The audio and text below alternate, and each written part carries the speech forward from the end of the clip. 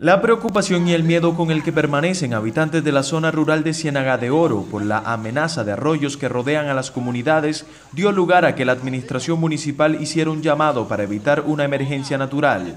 Desde hace varios años se presenta la problemática de erosión en varios puntos de los corregimientos, por los que se prenden las alarmas y llama a la atención inmediata de los actores involucrados para prevenir las consecuencias que podrían ocurrir por la socavación de la tierra, que de forma progresiva viene causando el arroyo y también habitantes de estas zonas.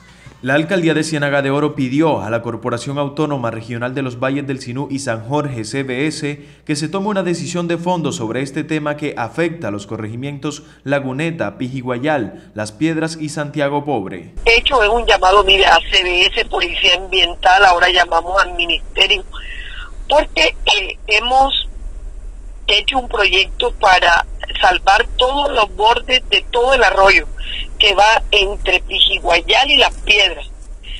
Lo hemos eh, presentado ante la unidad de riesgo. Consiste en que eh, proteger los bordes de todo el arroyo de Las Piedras.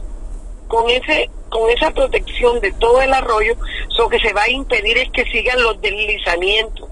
Eso se llama las taludes, que no se siga deslizando, sino que por el contrario eso queda eh, ya usted ve una muralla. Del mismo modo, advierte que son zonas de deslizamiento debido tal vez a la explotación indiscriminada de material para la construcción. El gobierno de Ciénaga de Oro hizo un llamado a los habitantes para que eviten construcciones a menos de 30 metros del pase del recurso hídrico, toda vez que estos terrenos por ley son del Estado.